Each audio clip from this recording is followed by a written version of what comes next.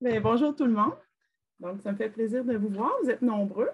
Donc, euh, oui, je prends la relève ce matin euh, pour Stéphanie, qui sera, euh, devrait être de retour d'ici fin janvier. Alors, ben aujourd'hui, comme à l'habitude, on garde la même formule. On a toujours un 30 minutes où on aborde différentes questions, que ce soit, ben aujourd'hui, on a un invité spécial, mais on a toujours un 30 minutes sur le partage de nos pratiques, des partages d'informations, des discussions sur différents sujets échange et, tout ça. Et la deuxième partie concerne souvent la sanction. Quand il y a des membres qui ont des, euh, questionnements suite à des, nouveaux, euh, des, nouveautés, entre autres, les dernières infos-sanctions ont fait beaucoup discuter lors des dernières communautés. Alors, euh, aujourd'hui, on a un invité, c'est Marc Brisson, qui est nouvellement en poste là, pour représenter les, les SARCA, donc pour donner un soutien aux différents centres de services scolaires. Alors aujourd'hui, on a un ordre du jour. Là. On, sait que M. Marquis a mis des points, je crois, pour la sanction. Euh, n'hésitez pas si vous avez des suggestions de recommandations. On a un document aussi euh, collaboratif euh, qui, je crois que Richard a mis le lien dans euh, la discussion. Donc, vous pouvez euh, ajouter des commentaires, des questionnements. Je sais que quelqu'un m'a envoyé un courriel aussi. J'essaie de voir tout en même temps, mais j'ai reçu un courriel. Je crois que quelqu'un voulait prendre la parole sans problème. Peut-être ajouter votre point dans le document collaboratif pour ne pas qu'on vous oublie à ce moment-là. Si vous avez des points ou des, points d'information, euh, sans problème, on va pouvoir vous donner du temps. Euh, il y a aussi une flexibilité, donc on a toujours une heure à l'horaire, mais on peut, euh, nous, on est disponible sans problème après 11h30. Donc, si euh, certains veulent rester, si on a d'autres sujets à aborder, c'est possible de prolonger un petit peu. Alors, est-ce que Marc, tu es prêt à prendre la parole? oui, bonjour. ben, bonne année tout le monde. On est un petit peu en retard, mais bonne année tout le monde. Euh, je, viens me présenter à vous parce que je pense que ça va être un lieu euh, important pour moi pour euh, rencontrer les différentes personnes impliquées au SARCA. J'ai obtenu un nouveau poste, un nouveau contrat au mois de novembre euh, concernant les SARCA. J'imagine que la plupart qui sont dans, le groupe ici l'ont vu circuler cette offre d'emploi-là, qui est avec le, Centre de services des mille qui est en fait euh, responsable national pour euh, les SARCA. Donc, je vais vous partager mon offre de service juste pour que vous puissiez bien voir. L'offre de service, j'imagine que vous avez peut-être pu euh, la voir circuler dans, dans l'info-sanction. On l'a mis dans l'info-sanction euh, le dernier qu'il y a eu, celui de décembre, juste avant les fêtes, concernant les, services qu'on peut offrir à tous les centres de services au Québec. Donc, là, pour un accompagnement national pour les SARCA, donc, euh, en fait, ce qu'il ce qui a à produire aussi, vous voyez un petit peu dans l'offre de service qui est marqué, euh, produire un portrait des besoins et des préoccupations euh, des acteurs du réseau. En fait, là, c'est vraiment, là, je, vais, revenir sur les autres points, c'est vraiment un des, des, points importants, je pense, qu'on a à faire. Puis c'est un petit peu ça, là, vous allez comprendre que je vais, je vais essayer de faire aujourd'hui. On va se donner quelques minutes là, pour être capable de au moins commencer à, mettre des, des, éléments en place pour dresser un portrait des besoins, là, puis des préoccupations des acteurs du milieu. Euh, mettre en œuvre aussi des actions concertées afin de soutenir le milieu dans l'actualisation et l'optimisation de leurs services du SARCA.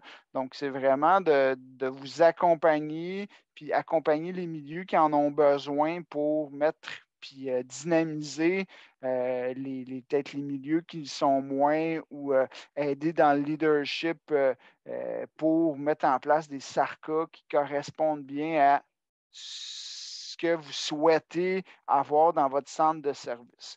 Puis, il y a tout un, plan aussi au niveau du développement euh, de la formation. Tu sais, au niveau des SARCA, euh, il y a déjà eu beaucoup de, de formations faites là, au début, au début, quand les sarcas sont sortis, là, quand j'ai débuté mon poste, je suis retourné dans les formations que j'avais eues en 2007, 2008.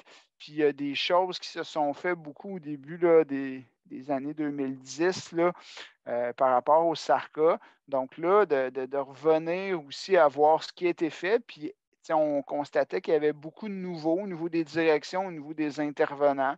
Donc, euh, est-ce qu'on peut mettre en place des formations adaptées aux besoins des, milieux? Puis, favoriser encore là le réseautage là, au niveau de, tout ce qui se passe au niveau de nos nombreux SARCA. On a, euh, c'est tous les organismes scolaires là, que ce mandat-là vise, que le ministère nous demande de, d'entrer en contact. Donc, ça, représente euh, plus de 70 euh, organismes, des centres de services, puis des commissions scolaires au niveau anglophone, donc différents projets dans lesquels je peux m'impliquer actuellement ou que je pourrais m'impliquer éventuellement si vous voulez euh, avoir un coup de main ou bâtir des formations ou vous avez une idée, là, vous, pourrez me contacter par rapport à ça. Euh, puis là, c'est ça, il y a une liste de, formations qui ont, eu lieu dans, le passé. Est-ce que euh, les nouveaux, vous dites, OK, moi, j'aurais besoin de ce type de formation-là pour m'aider puis à mieux comprendre le SARCA ou à être plus efficace dans mon SARCA, ben, euh, on pourra les monter. Si vous avez vu l'année passée, il y a eu un le même service, le même type d'accompagnement national est offert euh, pour les services complémentaires. Peut-être qu'ils ont vu la, ressource là, qui, a été, nommée l'année passée au niveau des services complémentaires, Karine Jacques. Ben, c'est un petit peu le même travail que j'ai à faire que Mme Jacques au niveau du, euh, moi, au niveau des SARCA, elle, au niveau des services complémentaires, qui sont des, des, des, services aussi qui sont très, très liés, je pense. Puis il y a beaucoup aussi, beaucoup d'autres, euh, euh, d'autres personnes qui ont des mandats nationaux avec le centre de service des Mille-Îles. C'est pour ça qu'ils nous ont, euh, ça qu'ils m'ont mis au centre des, des Mille-Îles. C'est pour ça que cette offre d'emploi-là était au centre de service des Mille-Îles. Parce qu'il y a beaucoup, beaucoup de projets nationaux avec le, le Carrefour FGA, les équipes choc. Donc, il y a beaucoup, beaucoup de choses qui se passent au niveau national. Donc, c'est aussi de, je pense que le SARCA doit être là, puis doit aussi euh, informer ces, gens-là qui ont des mandats nationaux. Euh, puis là, ce matin, en discutant avec euh, Mélanie puis Richard, on, on, pensait qu'une des. qu'on pourrait peut-être faire une petite activité. Là, je sais que c'est une heure, mais euh, je pense qu'en faisant une petite activité, ça pourrait nous permettre aussi de, voir euh, les, les, gens qui sont présents au, ce matin, euh, un petit peu la vision des gens, puis un petit peu savoir à quoi, à quoi le à quoi le SARCA peut être utile selon vous. C'est une première, une première cueillette d'informations que, que je, pense qu'il serait pertinent de faire. Euh, il y a d'autres moyens qui vont être mis en place pour, euh, euh, pour faire la cueillette des informations. Il va y avoir un sondage qu'on est à la préparation. On est à la préparation de faire un sondage qui va être national, qui va vous être envoyé par, par le réseau, soit les directions, soit par nous, euh, vraiment pour connaître les besoins, les préoccupations, euh, puis comment ça fonctionne un peu dans, votre, dans, votre, euh, dans votre SARCA au niveau, oui, des responsables SARCA, au niveau des gestionnaires, puis au niveau des intervenants, vraiment pour dresser un portrait. Ça, c'est une première chose qui va avoir lieu cet hiver. Et mettez déjà à votre agenda, ceux qui sont intéressés par le, le sujet des SARCA, puis d'aller plus loin dans, le développement de ce service-là, puis euh, de vous faire entendre par rapport à ça. Il va y avoir une journée pré-colloque qu'on est en est en train de, penser à monter euh, avant le, congrès de, de l'ACI FGA, qui serait une, journée pré-colloque. Donc, euh, ça, c'est un autre élément qui va nous permettre de bien connaître le milieu actuel, puis le SARCA, les SARCA, comment ils sont, euh, ils sont, ils sont construits, puis c'est quoi les, les, préoccupations de, des gens qui en font partie. Est-ce que on, on, voulait faire des sous-groupes? On est, euh, selon ce que je vois, 65. Et puis, oui, effectivement, on avait eu l'idée de peut-être former des sous-groupes pour euh, discuter, en, parce qu'à 65, c'est moins évident. Puis, euh, les gens, parfois, n'osent pas prendre la parole. Donc, en sous-groupe, on trouve que la formule peut être intéressante pour échanger. Euh, et dans le document collaboratif, ben, on pourra, chaque groupe pourra écrire ses commentaires, répondre aux questions qui ont été formulées dans le document. Et puis, après ça, on pourra partager en grand groupe. L'idée, c'est vraiment d'initier une réflexion, puis de voir où on en est, parce que selon les différents centres de services scolaires, mais, euh, les, SARCA ne sont pas développés euh, de la même façon. Il y a, certains centres qui ont vraiment développé, qui ont mis beaucoup, beaucoup d'énergie et de budget sur euh, le dossier, qui sont, sont très proactifs. D'autres qui sont en reconstruction de leur SARCA. Alors, on trouvait ça intéressant d'échanger. Alors, vous voyez à l'écran les, différentes questions. Ben, c'est ça. Moi, je, vous propose d'aller, euh, qu'on divise en sous-groupes, là, mettons 66, euh, si on, ferait, 10 petits groupes, Richard, que les gens puissent euh, puissent s'exprimer le plus possible, parce que c'est ça, en grand groupe, souvent, on n'entend pas tout le monde. Puis moi, j'ai le goût d'entendre les gens par rapport à votre vision. J'ai marqué une autre question là, par rapport à, la deuxième. Est-ce que le ou les SARCA représentent une, instance qui pourrait aider, c'est un élément qui pourrait favoriser la réussite et la supervision scolaire? Euh, j'ai le goût de vous entendre par rapport à ça. Euh, puis j'ai marqué un autre, si jamais là, je parlais du sondage qui s'en vient, puis de la journée précoloc, si vraiment vous avez un élément là, où vous dites ah, il faut que ça soit, il faut que ça soit là-dedans, il faut que vous en preniez en considération dans la journée précologue puis dans le sondage. Moi, c'est un élément que je veux que vous preniez en considération. Ben, venez le marquer à, à 3. Euh, puis vous pouvez dans, dans, dans, le document collaboratif vraiment écrire ce que vous voulez. Si vous voyez qu'il y a quelque chose vraiment qui a été écrit par un autre groupe, puis vous dites Ah oui, ça, c'est vraiment quelque chose de super important, bien, mettez-nous une indication que, je ne sais pas, avec des plus, par exemple, que vous aussi, vous êtes d'accord. Fait qu'on va pouvoir voir vraiment euh, la vision qui est en place, puis les, visions, les visions différentes aussi. Donc, vous allez être euh, dirigé automatiquement dans une salle. S'il y a un problème technique, revenez, je vais vous rediriger dans une autre salle. Et une minute avant qu'on, dans, dans neuf minutes, je vais vous envoyer un message comme quoi euh, les salles vont fermer automatiquement. Vous allez voir, c'est très brusque, c'est très plate, mais les salles ferment automatiquement, puis on revient tout le monde en pleine lumière. Donc, euh, je vous souhaite un, bon travail. C'était super intéressant. Puis si les gens ont besoin de plus de temps, mais on peut continuer en grand groupe aussi. Moi, je trouve que c'était vraiment, euh, vraiment intéressant les discussions qui ont été amorcées. Ben, en fait, euh, Mélanie, on peut peut-être juste se donner peut-être euh, cinq minutes parce qu'on a dit qu'on reviendrait là, pour l'autre partie. Euh, je ne sais pas si tout le monde a eu le temps puis pourrait prendre le temps d'aller écrire les, les, éléments prioritaires puis les, vraiment les grandes lignes dans le document collaboratif.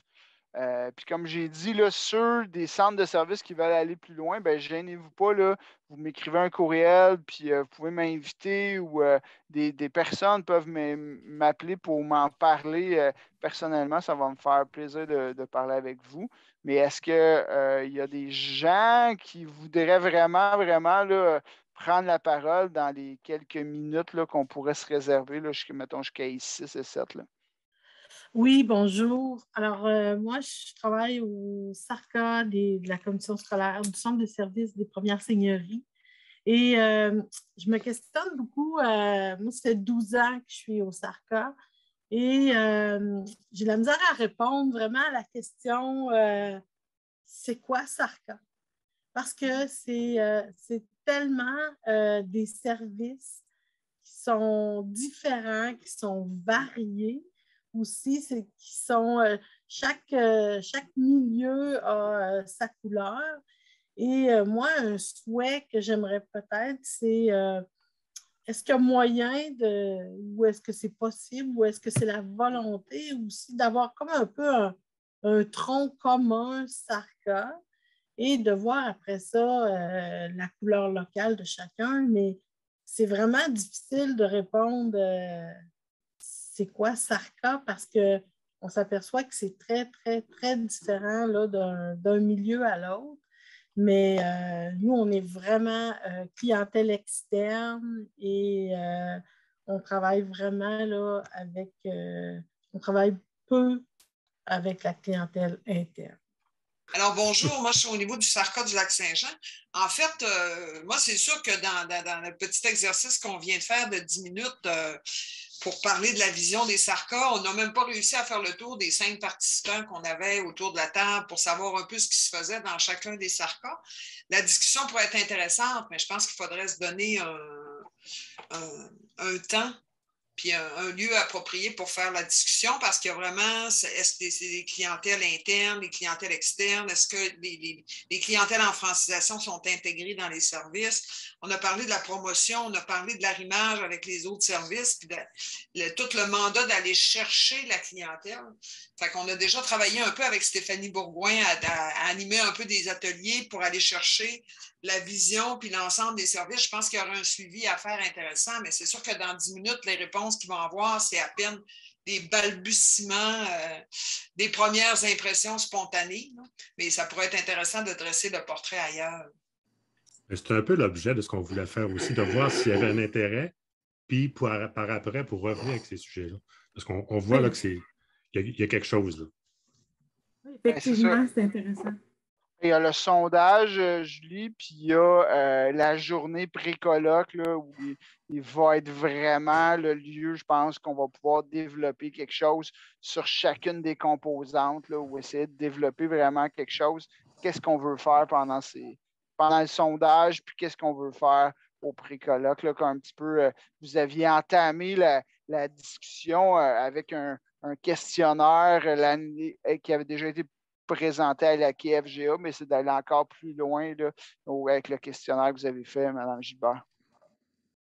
Ben, moi, c'est un peu en continuité avec euh, la dame qui vient de parler. Je pense que c'est Julie.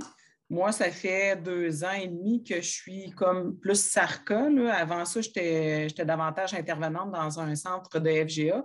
Mais nous, on l'a comme un peu. C'est là que je m'aperçois que la vision est différente partout. Puis, tu sais, je me suis amusée à aller consulter les sites Internet des différentes commissions scolaires pour voir comment chaque. Parce que je me posais des questions sur comment je vais offrir un. C'est quoi ça, les SARCA? Puis, moi, ma vision à moi, quand je lisais le titre, Service d'accueil, référence, conseil, accompagnement, moi, pour moi, c'est du début à la fin. Mais là, avant que l'élève, quand le futur élève ou qu'il ne deviendra pas un élève du tout, euh, je l'accompagne dans sa démarche de réflexion, dans de la RAX, au besoin TDG, TEN, CCQ, euh, Alouette. Mais nous, euh, il y a aussi un, accompagnement qui est fait pour les élèves par la suite. Moi, je continue mon rôle de SARCA, mais avec les élèves dans l'école et le après aussi. Fait que, je me rends compte en parlant avec les autres dans, les, salles que la vision est tellement différente. Puis là, des fois, je me posais la question, crème, je suis dans le champ, euh, je fais-tu ma job de SARCA comme il faut? Nous autres, il y a vraiment un SARCA FP puis un SARCA euh, FGA qui est, comme, qui est comme plus splitté en deux, si on veut. Là. Fait que quelqu'un qui veut plus des services FP puis de l'accompagnement FP va vers l'AFP. Puis quelqu'un qui veut plus FGA, c'était pour démêler le monde, parce que le monde était mêlé avec ça, les SARCA, ils ne savaient pas trop. Là. Euh, S'ils voulaient s'inscrire à l'éducation des adultes, un peu perdu. Fait qu'on a comme scindé ça en deux. Fait en tout cas, je ne sais pas si je suis dans le champ, dans ma vision. Moi, je vois ça un peu comme euh, les sarcas, comme une place où les gens peuvent venir se questionner, euh, euh, nous rencontrer pour faire un, bilan puis un, plan de match. Puis si c'est un retour à l'école, c'est un retour à l'école. Mais je vous dirais que le gros de ma job, c'est beaucoup du retour à l'école, par contre. Oui, je fais beaucoup de TENS, TDG, tout ça, de l'accompagnement, mais c'est beaucoup de l'admission, puis euh, des plans de match pour des retours à l'école, mais je réponds aussi à beaucoup de questionnements. Là. Fait que je ne sais pas. Moi, je suis comme nouvelle depuis deux ans. Je ne me suis jamais posé la question, puis on n'a plus de rencontres SARCA, justement.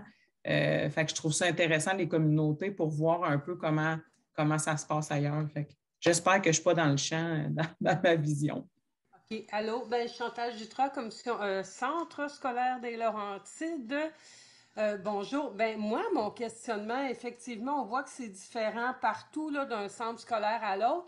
Mais la question qui me vient, parce que j'entends des services extraordinaires qui, qui, sont donnés à l'interne, à l'externe, FP, FGA, c'est le budget. Est-ce qu'on a tous, par centre scolaire, le même budget alloué pour le SARCA? Parce que c'est certain que les services euh, d'accompagnement du début à la fin, puis de différents niveaux d'intervention, nous, chez nous, en ce moment, on a deux jours, 14 heures SARCA. Donc, je vous dirais, grosso modo, là, euh, c'est de prendre les appels, référer, donner des rendez-vous euh, pour les centres en FGA et pour les thèmes TDG, puis CCQ. Ça s'arrête pas mal à ça, là. Mais c'est ça, là, je me demandais, est-ce qu'on a tous le même budget par centre scolaire?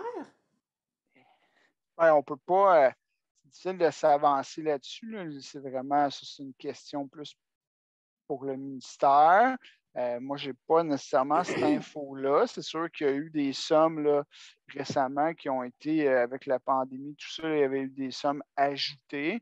Mais pour dire euh, c'est quoi exactement la répartition, il faudrait consulter votre, directeur de centre ou directeur de service, là, FGA, FP, tout dépendant comment l'organisation fonctionne dans votre dans votre centre. Là. OK. Ben, en tout cas, je vais m'informer, mais je serais quand même curieuse à savoir au départ comment ces sommes-là sont investies. Est-ce que c'est en fonction du nombre de personnes sur le territoire, etc. Je sais qu'après, il y a une gestion à l'interne de TP et tout, mais est-ce qu'au départ, comment ces sommes-là sont versées dans les centres scolaires? Moi, ça m'intéresse beaucoup.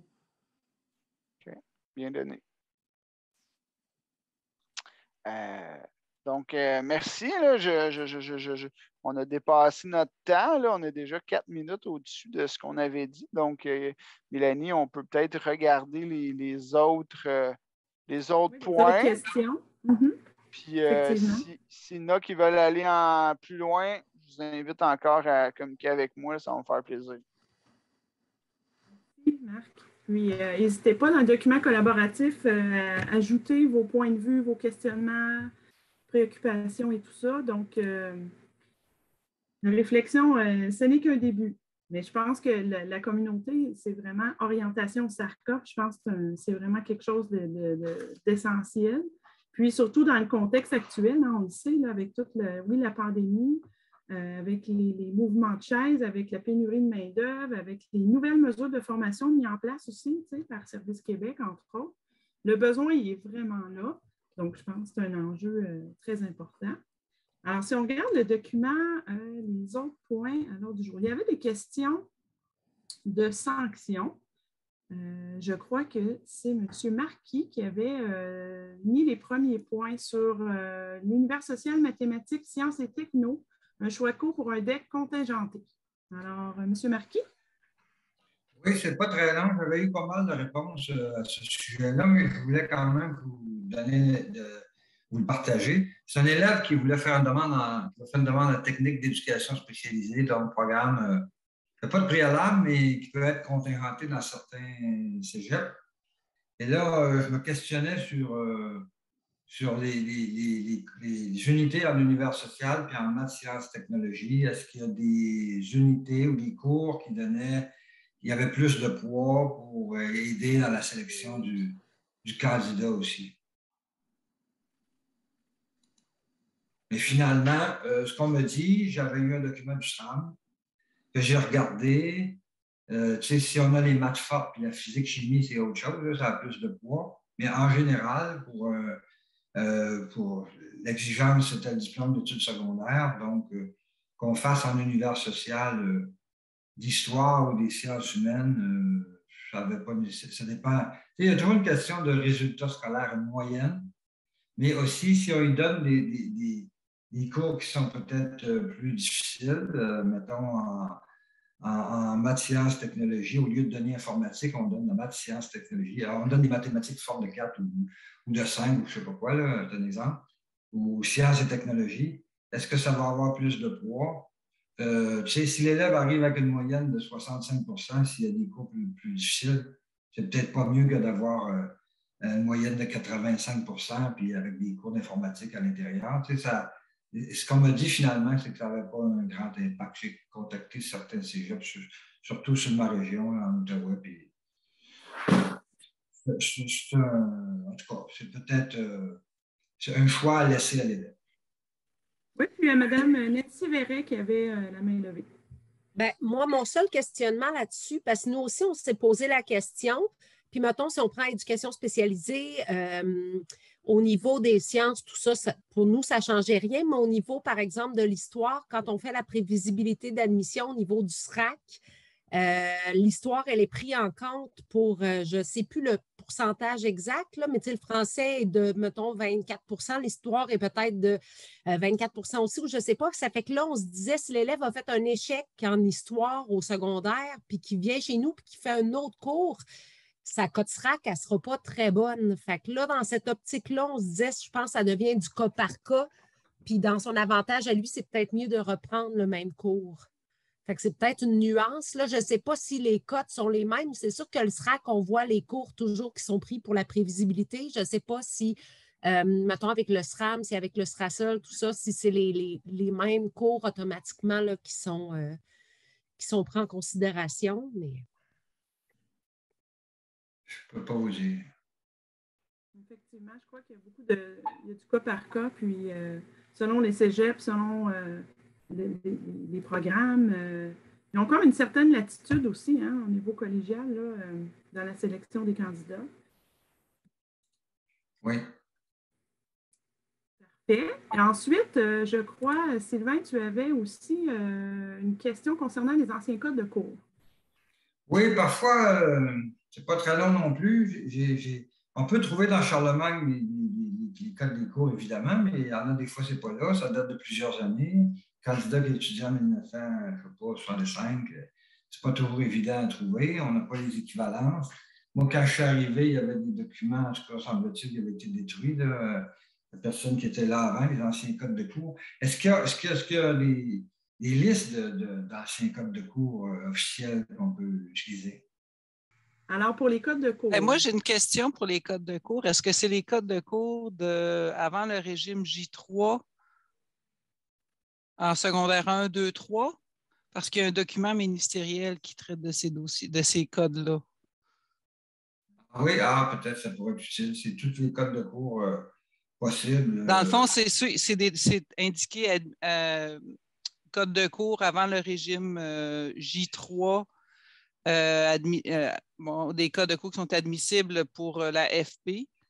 Puis, il y a une phrase très intéressante à la fin de chaque page qui est ou tout autre code indiqué par l'école, ce qui fait que ça peut être à peu près n'importe quoi, là, mais c'est un document qui existe. Je peux le mettre là, dans la conversation si vous voulez. Oui, oui, j'apprécierais, merci je sais qu'à un moment donné, comme responsable de sanction, j'avais reçu une note qui disait qu'on pouvait, nos vieilles codes de cours, comme il y avait eu beaucoup de responsables qui avaient changé, qu'on pouvait envoyer une demande au ministère directement, faire, faire la demande par le, responsable, puis euh, que ça serait le ministère qui ferait l'analyse. Il faudrait que je retrouve, là, je suis à la maison, fait que je n'ai pas mon document là, euh, à portée de main, mais je, me rappelle qu'on avait ça eu, on avait eu ça, là, me semble, dans les deux dernières années, je pense. Oui, je crois. c'est des vieux Effectivement, moi aussi, je crois que le responsable de sanction, c'est ce qu'il nous avait dit parce qu'il y a de moins en moins de formations, il y a des nouveaux qui entrent en poste, qui ne sont pas nécessairement formés. Donc, s'il n'y a pas des, des anciens, des habitués qui sont là pour les former, c'est plus difficile pour les nouveaux conseillers parce que je pense que pour, euh, pour éviter euh, le préjudice aux clients, ben, les, nouveaux conseillers étaient invités à communiquer directement par le responsable de sanction à la, au ministère. C'est certain que ce qui, est, un peu moins intéressant, c'est les délais que ça l'occasionne. Ben, c'est comme moi, ça fait quand même plusieurs années que je suis là. Ça fait que c'est certain que probablement, comme la plupart d'entre vous, on, on, a gardé des documents, des vieux documents, puis on les, les consulte. Puis, euh, comme je regarde, moi, euh, mon, mon, CP en français est là depuis 20 ans. Fait que quand j'ai un vieux cours, là, me casse pas la tête, lui demande. Il, était là à l'époque, fait d'utiliser nos ressources autour de nous, là, on, en a quand même beaucoup. Là, fait que c'est certain que quand c'est quelqu'un de nouveau, ben là, euh, bienvenue dans la... la complexité. Dans la jungle, là, mais en tout cas, c'est ça. Merci. Euh, la question concernant la CCQ, on peut peut-être aller vers euh, revenir à cette question-là tout de suite. Je me souviens pas du nom. C'est moi qui avait demandé. En fait, nous, euh, on est comme dans un. On, a un problème. C'est, dans le fond, c'est assez simple. C'est juste que c'est au monde deux chaises. Notre personne responsable de la sanction, c'est maintenant moi.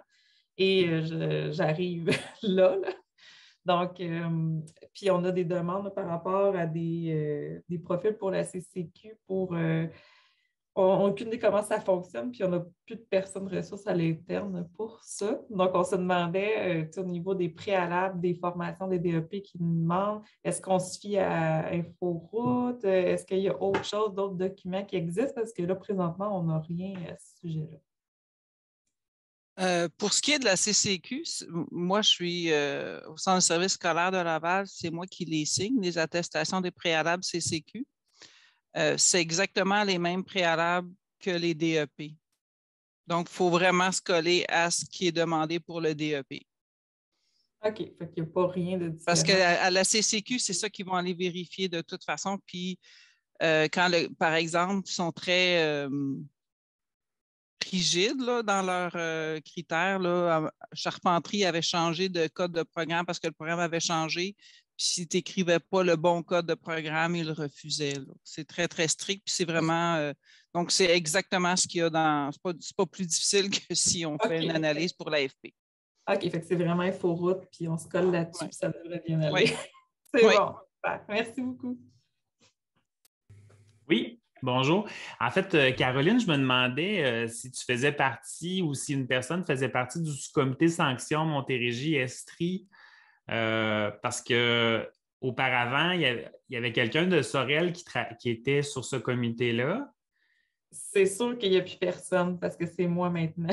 Puis je suis en septembre. Euh, c'est ça, parce qu'en fait, c'est ça, c'est que c'est sûr que ce comité-là, on se rencontre régulièrement, puis on a un groupe, euh, on, on, a un groupe Teams, puis on s'échange d'informations, puis c'est ce, type de questions-là, on peut se soutenir entre nous on a une rencontre la semaine prochaine. En tout cas, peut-être que si jamais tu es intéressé, je, peux, je, vais t'écrire euh, mes coordonnées, puis tu peux peut-être m'appeler, puis on pourra regarder ça ensemble.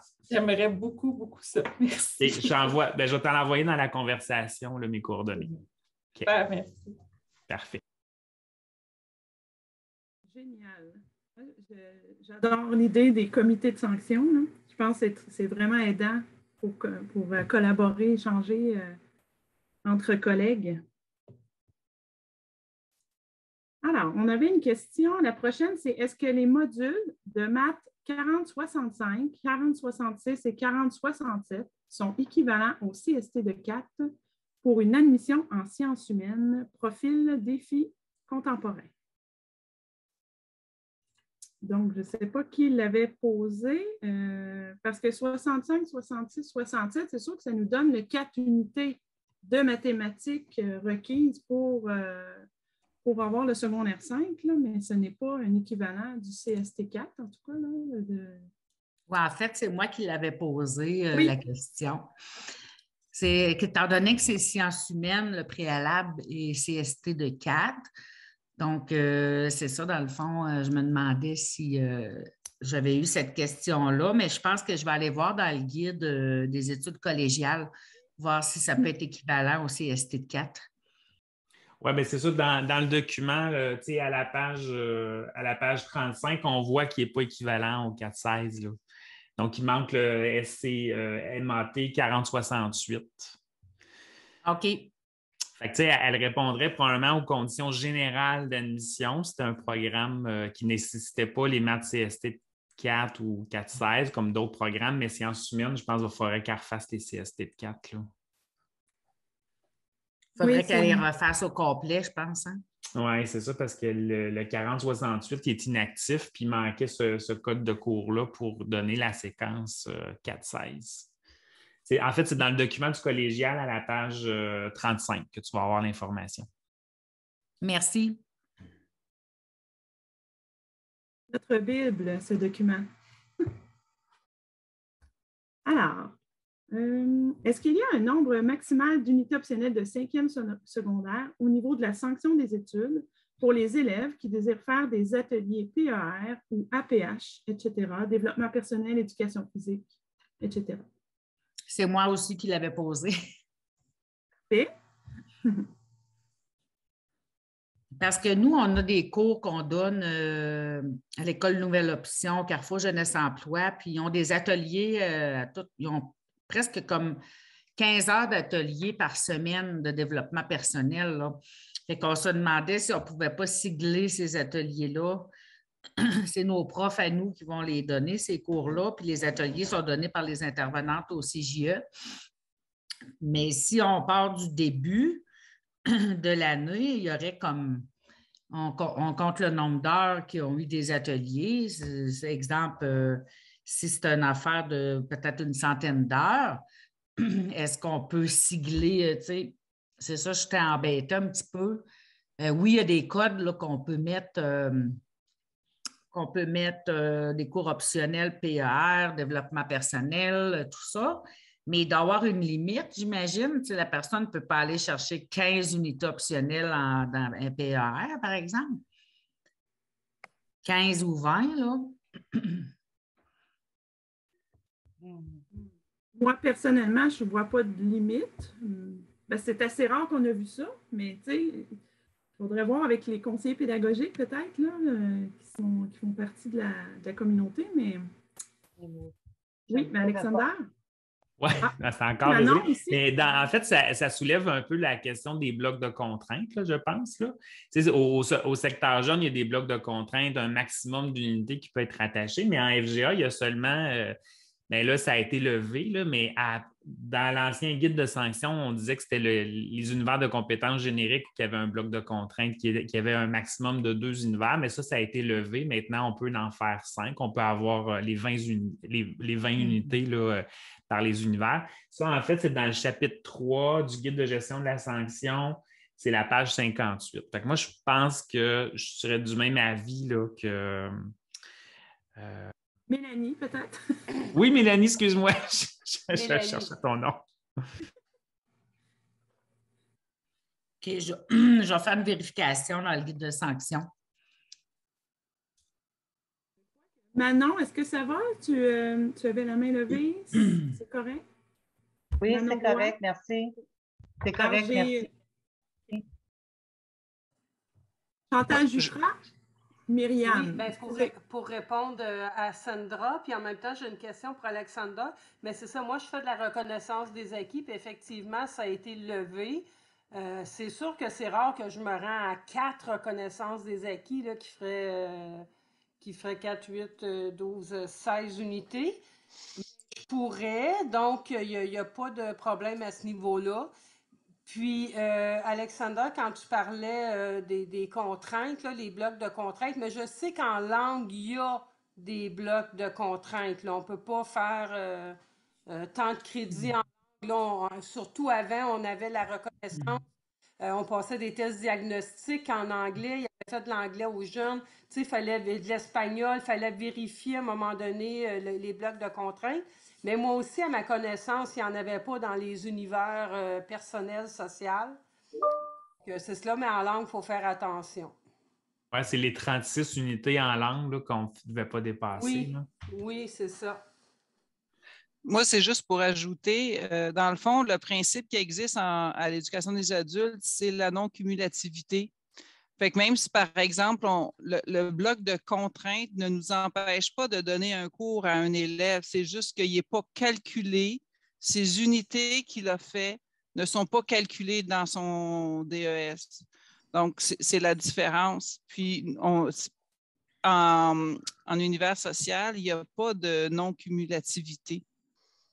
C'est-à-dire qu'on pourrait lui donner autant d'unités qu'on voudrait. Si jamais il y avait un- une, une contrainte au niveau du nombre d'unités, ben, c'est juste que ces unités, il, il va les faire pour ses connaissances personnelles et non pour l'obtention du diplôme ou pour euh, augmenter ses unités. Là.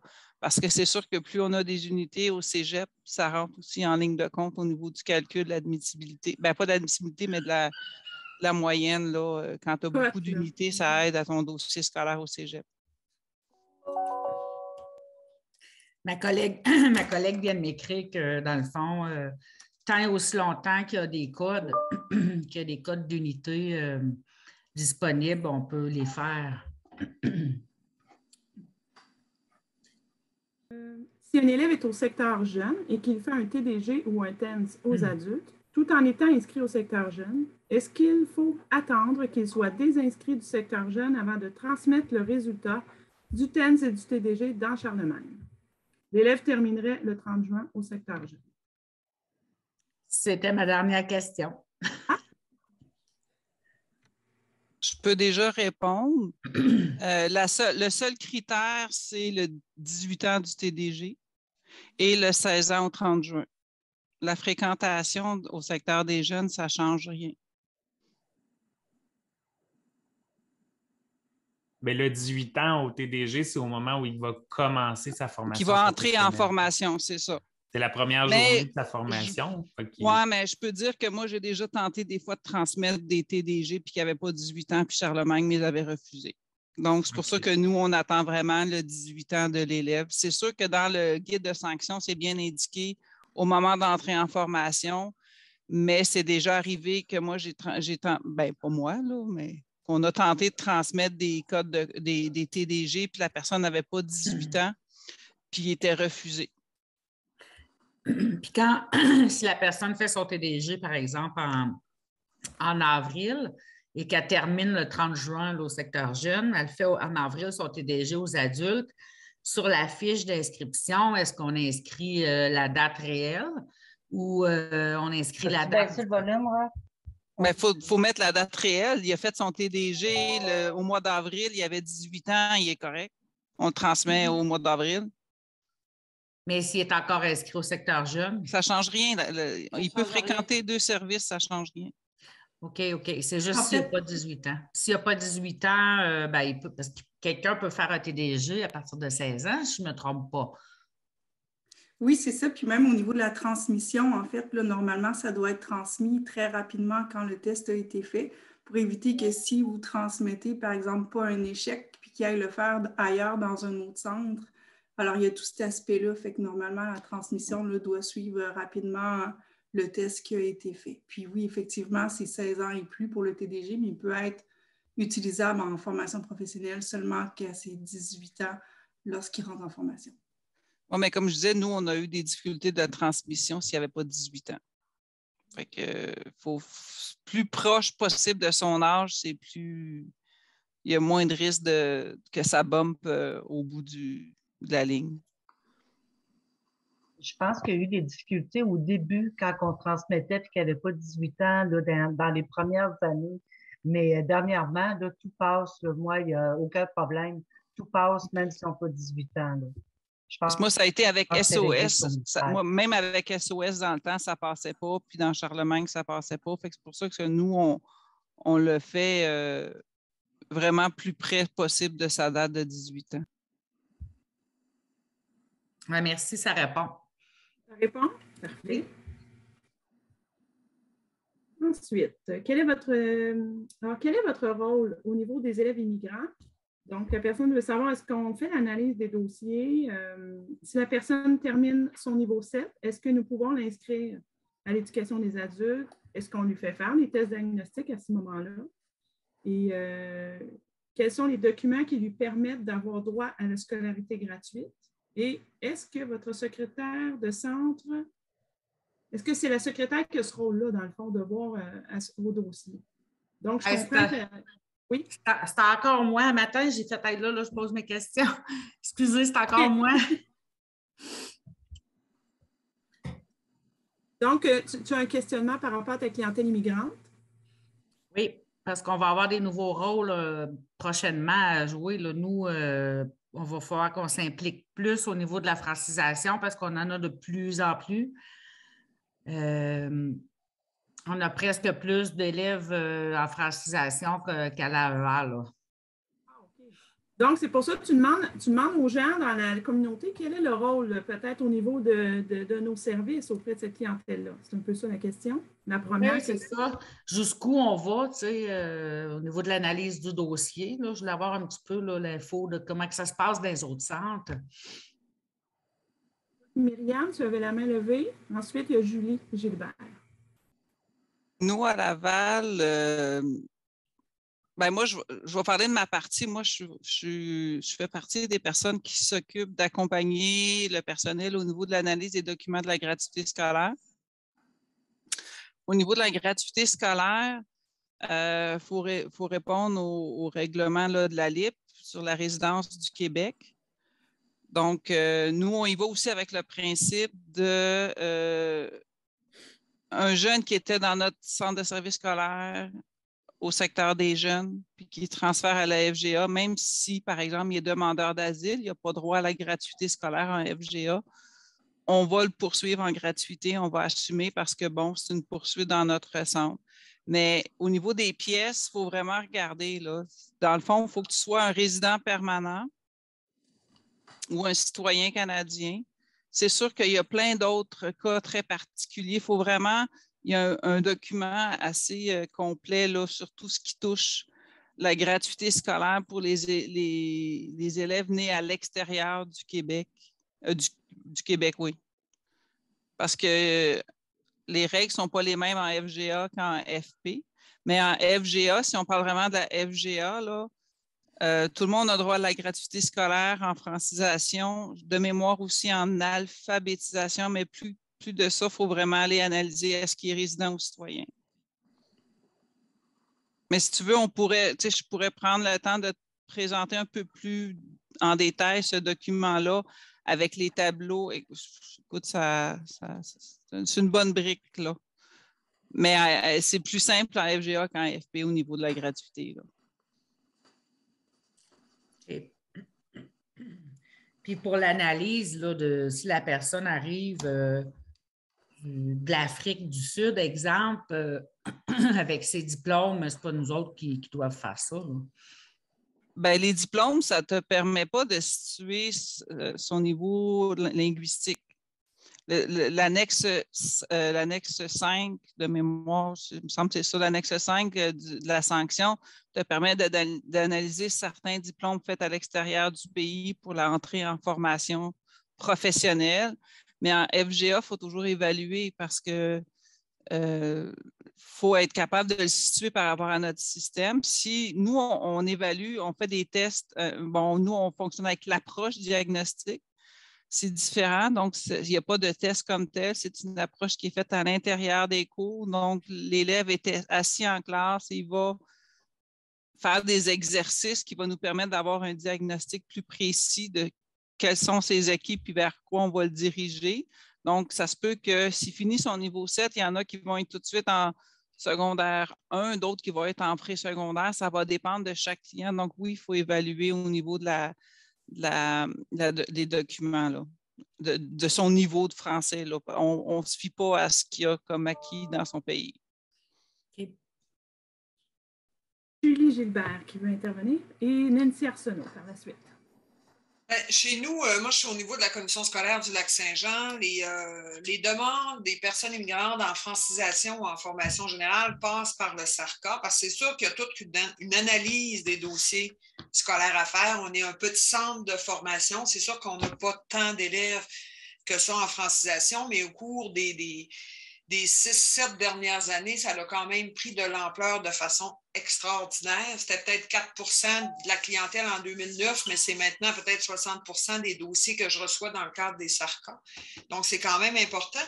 Puis, euh, il y a l'équipe choc organisationnelle avec la TREAC qui est en train de monter. Il y a du soutien et de l'accompagnement qui peut être donné au centre de service scolaire. Puis, il y a de la formation qui a été montée qui est en train d'être développé pour accompagner les centres de formation pour savoir comment analyser les dossiers, comment traiter les demandes, parce que oui, c'est au centre de formation de voir si les personnes peuvent avoir, si les personnes ont droit d'étudier au Québec, s'ils ont droit à la gratuité. C'est à partir du guide, des droits de scolarité. Puis, ça permet aussi de savoir, il y a des élèves en francisation qui ont droit à la gratuité scolaire, mais selon leur statut, ça ne veut pas dire qu'ils peuvent venir en formation générale. Fait que c'est quand même, en tout cas, des. Euh, moi, j'ai participé à la formation. Fait que si vous voulez, je peux vous mettre euh, dans la conversation le lien vers l'équipe choc organisationnelle. Vous pouvez faire des demandes, adresser des demandes à Carole Voisine, puis selon les besoins de votre organisation, elle va voir à trouver une personne ressource qui pourra vous accompagner au niveau de, toute l'organisationnel pour ce volet-là. Il y a comme l'équipe choc organisationnelle qui traite plus, euh, l'équipe choc pédagogique qui traite le dossier pédagogie en francisation, mais tout au niveau du traitement puis de l'organisation des services pour l'analyse des dossiers, je pense que ça peut être intéressant. Oui, j'apprécierais, oui, que vous le mettiez dans le clavardage. OK. Merci. Pascal a publié un document. Pascal Poirier. Oui, bonjour. Euh, moi, je suis à Saint-Hyacinthe. Euh, en fait, euh, de notre côté, vous demandiez qui faisait l'analyse des dossiers. nous, ce qu'on a fait, on s'est fait un tableau parlant de la brique à laquelle référait Myriam, je crois, tout à l'heure, pour que le personnel au secrétariat sache quoi demander comme pièce au dossier pour qu'on puisse en faire l'analyse ensuite. Et euh, c'est sûr que, bon, comme ça a été mentionné, quand il est question d'inscrire quelqu'un en francisation, ces documents scolaires antérieurs sont bon, plus ou moins euh, utiles parce que ce n'est pas ce qui nous donne nécessairement leur niveau euh, linguistique.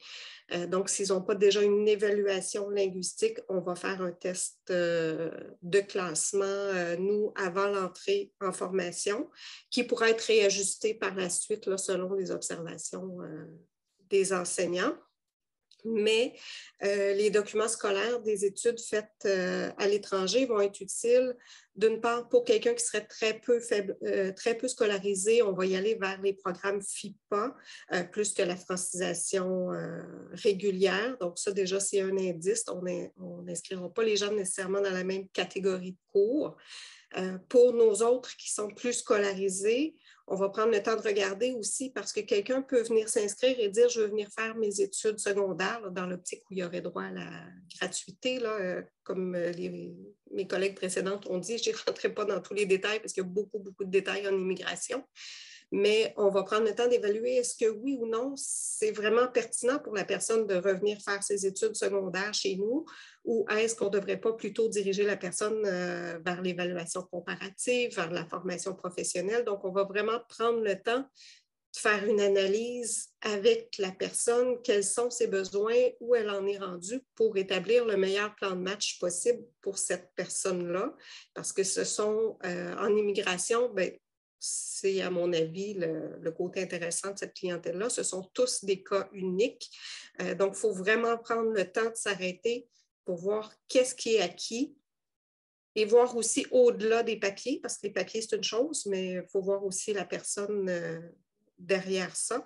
Donc, oui, nous, c'est au SARCA que cette analyse-là euh, se fait. Et le SARCA étant un service, centre de service scolaire, nous, on le fait peu importe euh, si la personne en bout de ligne sera dirigée vers la FGA, vers la recherche d'emploi, vers l'AFP, vers le service aux entreprises, vers le cégep ou éventuellement on en réfère aussi directement euh, à l'université, tout dépendant des acquis euh, avec lesquels ils arrivent. Si on a quelqu'un qui a déjà l'équivalent de son diplôme d'études secondaires et qui a besoin d'un préalable de maths parce qu'il veut s'inscrire au cégep, ben, dans ce cas-là, on pourrait inscrire la personne peut-être directement euh, dans le cours de maths de quatrième secondaire si on voit qu'elle avait fait déjà une sciences euh, chez elle. Si la personne, on voit qu'elle euh, était déjà comme faible en mathématiques chez elle, on va faire un test de classement pour être sûr de démarrer la personne au bon endroit. On ne fera pas exprès d'aller la faire se cogner le nez sur des maths qui risquent d'être d'un niveau trop, trop difficile. Donc, c'est mm. vraiment cas par cas dans chaque, euh, dans chaque analyse euh, de dossier. J'ai eu une demande euh, hier justement de quelqu'un, un immigrant, qui demandait pour de la, de la RAC en réfrigération, par exemple. Fait que, dans le fond, moi, je l'ai référé à notre personne qui s'occupe de la RAC.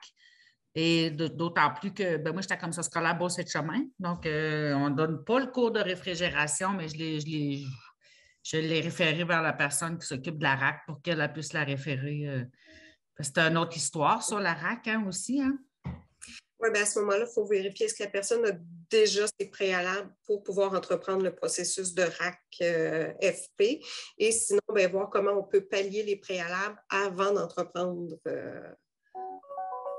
euh, de RAC. Mais effectivement, cet accompagnement-là peut être offert directement au service de RAC nous, à Saint-Hyacinthe, on se partage un peu euh, les, dossiers. Quand la personne en RAC voit qu'il y aura des préalables à aller chercher, nous les réfère euh, automatiquement pour qu'on accompagne la personne à aller chercher les préalables avant de pouvoir entreprendre la démarche de RAC. donc, nous, l'analyse des dossiers se fait un peu au SARCA puis un peu directement au service de RAC. Merci. Oui, mais en fait, je trouve ça super intéressant ce qui a été partagé. Puis je me questionnais justement s'il y avait une communauté autour de la francisation quand on a des questions, parce que là, les, vous m'avez amené une panoplie de, réponses à plein de questions que je me posais depuis vraiment longtemps. Donc, est-ce que, ou même dans le partage de documents, vous dites, vous avez fait une grille qui, résume ce, fameux guide administratif qui, des fois, a des, des sections de flou. Donc, est-ce qu'il y a euh, quelque chose, je ne suis pas au courant, je ne sais pas, une communauté, un partage de documents quelque part autour de la francisation? Hélène, j'ai mis dans le clavartage euh, le lien de la ah, page de francisation. Oui, puis c'est une, les rencontres se font mensuellement. Donc, c'est une, euh, communauté très, très active. Super, merci. Julie, je crois, tu avais la main levée. Non? Oui.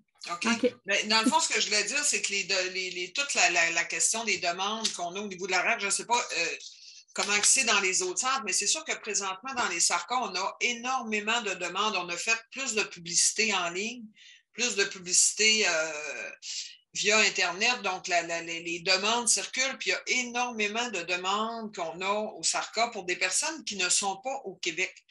Puis, c'est, ça, devient, ça devient difficile à gérer puis à prioriser les dossiers. Fait que c'est sûr qu'il y a toute l'idée d'avoir en tête toute la question des droits de scolarité. Ça l'aide aussi quand on aide des personnes à prioriser puis à dire il y a des gens qui ne sont pas encore immigrés au Québec, qui ont des projets peut-être de venir s'installer ou de venir étudier, mais ça, chez nous, ce n'est pas des dossiers qu'on va traiter dans le cadre des SARCA. On va, les référer, on va référer ces personnes-là vers les instances euh, vers les instances concernées puis les services qui sont pertinents pour eux parce que ça fait tout un achalandage, puis on devient un peu inondé de demandes d'informations. Mais c'est des gens souvent qui ne sont pas encore venus. je sais que ça avait été exprimé dans une rencontre, je ne sais pas si c'est la dernière ou l'avant-dernière, des gens qui ont mis des, euh, des, bookings.com euh, en ligne sur leur page d'information ont plein de demandes, mais c'est des gens qui ne sont pas encore ici. Chez nous, c'est quelque chose d'important. Que c'est sûr que la, première chose, c'est est-ce qu'ils ont le droit de venir étudier ici? Est-ce qu'ils sont, ils sont rendus où dans leur processus? Est-ce qu'ils sont déjà arrivés au Québec? Puis toute la, la, formation qui est montée va un peu dans ce sens-là, comme, comment traiter les dossiers. Est-ce que présentement, ils peuvent étudier au Québec? C'est quoi leur statut? Puis à partir de là, on va voir est-ce qu'ils ont droit à la gratuité? Puis qu'est-ce qu'on peut leur offrir? De la FP, de la FGA, de la francisation? Les règles sont un peu différentes, mais euh, je ne sais pas dans vos centres comment c'est au niveau des demandes de, l'extérieur du Québec. Oui, ben, j'avais une petite question sur euh, le partage de la communauté francisation. Moi, j'avais l'impression que c'était plus une communauté euh, d'enseignants, dans le fond, puis que ça parlait un petit peu moins du côté administratif. Je me trompe-tu? Non, tu ne te trompes pas, Christine. Il y a quand même des questions, des fois, qui, qui pointent. Et euh, euh, l'animatrice, euh, Rima, a quand même beaucoup d'expérience. Elle a fait aussi le service en entreprise. Donc, souvent, elle peut répondre à ces questions-là. Donc, euh, si on avait des questions au niveau administratif, ça pourrait être aussi un lieu où on, pourrait aller ou c'est euh, oui, puis quand même... c'est plus, plus vers les CP, les profs, mais les gens peuvent répondre. c'est une question que tu, dis, ah, je n'ai pas trouvé personne pour répondre, eux vont le savoir, sinon ils vont te diriger. OK, parfait. Puis, ben, tant qu'à avoir la main levée, euh, nous, c'est ça, je suis à Rwanda, puis on, a de plus en plus de, personnes immigrantes qui viennent faire des cours de francisation. Puis, euh, tu sais, avec les ententes avec le MIFI, puis tout ça, nous autres, notre équipe, on travaille, ma secrétaire, puis euh, la TOS, tu sais, on regardé le guide administratif pour s'assurer que les gens ont le droit de venir faire de la francisation avec leur statut, puis tout ça. Puis, je ne sais pas si je me trompe, parce que quand une personne, exemple, vient étudier ici à l'UCAT, nous, c'est l'Université du, euh, en Abitibi-Témiscamingue, ce que j'avais lu, c'est que dans les règles budgétaires, euh, j'avais vu quelque chose à quelque part, puis je l'ai imprimé, mais là, je ne l'ai pas ici vu que je suis en télétravail. C'est indiqué que ces gens-là ne peuvent pas faire des cours de francisation euh, étant donné qu'ils sont étudiants étrangers, à moins qu'ils fassent une demande au MIFI pour euh, être autorisés. Est-ce que quelqu'un euh, peut me confirmer si on est correct? Parce que moi, présentement, avec ce que j'avais lu, puis j'avais questionné le MIFI, il m'avait dit que les étudiants étrangers qui sont à l'université ici puis qui ont un permis d'études pour aller à l'université, ils peuvent faire des cours de francisation, mais juste s'ils font une demande au MIFI, sinon ils ne peuvent pas. Est-ce que je suis correct? Euh, en fait, c'est ça, on a eu la même, euh, le, même type de situation parce que nous, c'est la faculté de médecine vétérinaire qui n'est pas bien loin de chez nous. Euh, et on se retrouve avec des gens qui ont des permis d'études pour la fac. qui voulaient suivre des cours de francisation. Effectivement, avant, on n'était pas en mesure de les recevoir, à moins qu'ils fassent une demande de permis d'études de niveau secondaire pour étudier chez nous. Euh, mais maintenant, moi, j'ai écrit euh, l'adresse étudiant étranger là, du, MEC euh, cet automne et c'est M. Royer, si ma mémoire est bonne, qui m'a répondu et qui m'a dit que les étudiants étrangers et leurs conjoints ont maintenant accès à la francisation et peuvent faire la demande MIFI, d'aide financière MIFI temps partiel aussi, s'ils le veulent. Donc, moi, ce que M. Royer du MEC m'a dit, c'est les étudiants étrangers ont le droit. Et euh, j'ai reçu euh, déjà deux élèves dans cette euh, situation-là.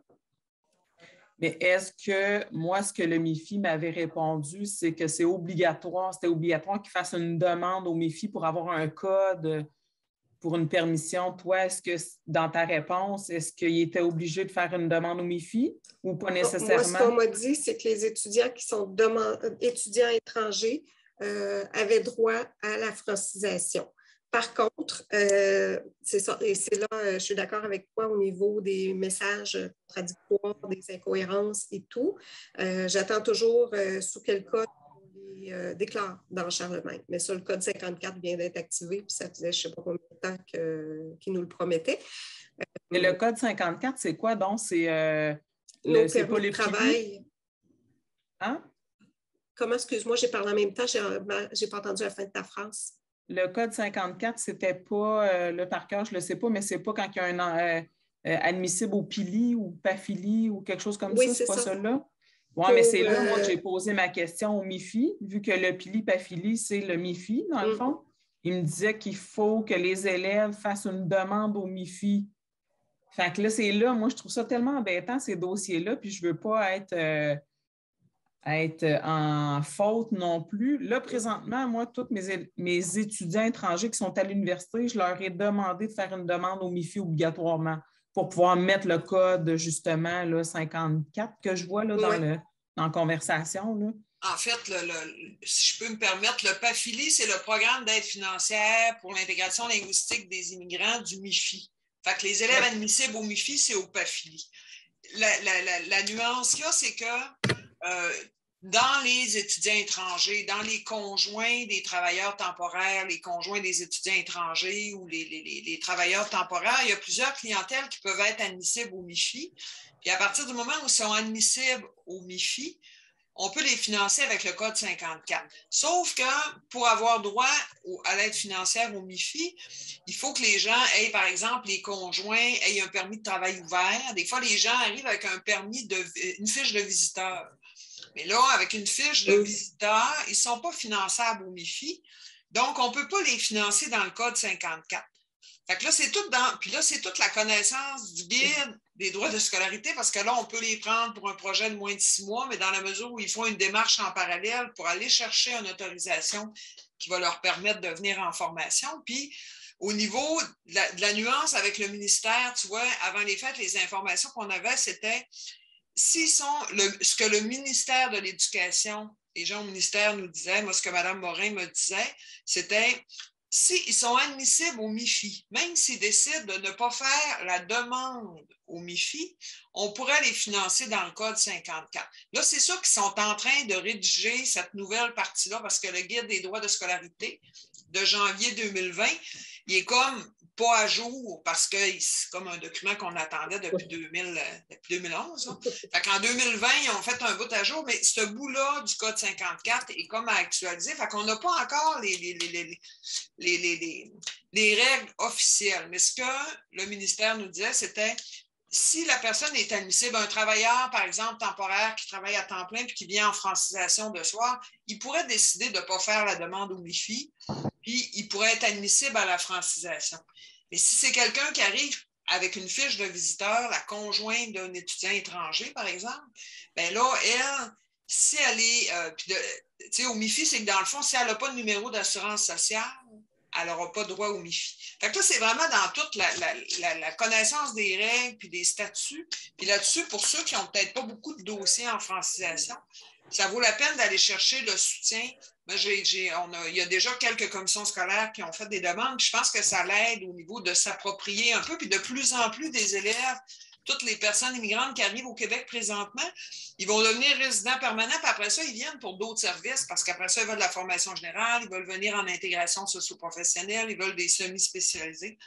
Donc, de se familiariser avec l'ensemble des statuts des personnes immigrantes, je pense que ça peut être intéressant parce que ça, ça, on va en avoir de plus en plus dans nos services. C'est de moins en moins des cas d'exception, je pense. Donc, chez nous, c'est ça au Lac-Saint-Jean. Donc, vous, il y a quelqu'un qui vous a dit le contraire de ce que je me suis fait dire, c'est que si la personne est éligible au MIFI, mais elle n'est pas obligée de faire une demande. Ben, en fait, ces, ajustements-là, on a ça dans les règles budgétaires à chaque année. Donc, dans les règles budgétaires de l'année passée, il fallait avoir, pour financer dans le code 54, il fallait avoir la preuve que les gens étaient admissibles. Mais dans les règles budgétaires de cette année, ils ont enlevé l'obligation d'avoir la preuve de l'admissibilité au MIFI. C'est de ça, moi. C'était ça que je m'étais basé là-dessus, sur Dredd, qu'est-ce que vous dites là, la preuve de nanana, je l'avais souligné, j'avais envoyé ça au MIFI. Ils ont dit oui, effectivement. Donc, ça, c'est l'année passée. Mais tu vois, dans les règles de cette année, ils n'ont plus besoin de la preuve. Fait que là, nous, on les prend. La plupart, ils, la font, la demande. C'est quand même du soutien financier pour eux autres. Ils ont 25 pièces par jour, ils peuvent avoir des frais de garde. Pour le temps partiel, cette aide-là est quand même intéressante. Mais s'ils ne font pas la demande, puis des fois, ils peuvent ne plus avoir d'heures, mais s'ils si, sont... Euh, s'ils font la demande, ça peut être intéressant. Puis sinon, a un numéro d'assurance sociale, puis selon les statuts, ben là, ça peut vous permettre quand même de voir que vous pouvez les prendre en francession. Puis le pire des pires, c'est que vous n'aurez pas votre financement. Mais l'important, c'est de vérifier s'ils ont le droit d'étudier pour ne pas les mettre en situation euh, d'infraction au Canada, parce que là, ça, ça pourrait avoir une incidence sur leur démarche future d'immigration. Comme, comme quelqu'un qui vient étudier à l'université, moi, il a un permis d'études, donc il peut étudier. Il peut étudier, oui. Ça, pour quand, quand ils viennent, les étudiants étrangers peuvent venir dans la mesure où son activité principale demeure ses études universitaires. Ouais. C'est comme un travailleur. Dans la mesure où son activité principale demeure son travail, ben, il peut venir étudier à temps partiel, en francisation. Pas nécessairement en formation générale ou en ISP, ou en... mais en francisation, oui. Parfait, ben, merci. Je vais devoir vous interrompre. C'est des échanges super intéressants. Puis, euh, afin que, parce qu'on voit là, effectivement, que les gens commencent à quitter la rencontre, je pense que ce serait un point à, remettre à l'ordre du jour, peut-être, de la prochaine rencontre pour aller plus loin dans notre réflexion. Et vraiment, c'est des échanges super pertinents parce qu'effectivement, le dossier de la francisation et des immigrants, c'est assez complexe. et de notre côté aussi, pour répondre à Mme Gilbert tantôt, nous aussi, on reçoit des demandes des gens qui ne sont même pas encore au Québec. Donc, ça prend de l'ampleur quand même. Puis, euh, c'est un dossier euh, assez, euh, assez complexe. Alors, ben, je vous remercie beaucoup de votre présence. Alors, j'ai bien hâte à la prochaine rencontre. Puis, comme en francisation, on voit que la communauté est très active. Donc, je vais voir là avec avec euh, Stéphanie qui va être bientôt de retour à peut-être euh, augmenter le nombre de rencontres si les gens sont intéressés. Alors, je crois qu'en ayant des rencontres plus régulièrement, ça va nous permettre d'aller de, plus loin, puis parfois de boucler nos sujets aussi, hein, parce que parfois on est pressé par le temps, on ne peut pas fermer la boucle, mais euh, donc à suivre. Vous allez recevoir des courriels de ma part ou de la part de Stéphanie prochainement.